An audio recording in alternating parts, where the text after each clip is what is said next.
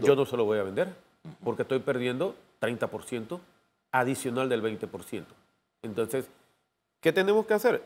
Retirarlo del anaquel, ponerlo en una cajeta y esperar que el distribuidor venga y nos reconozca nuestro 30%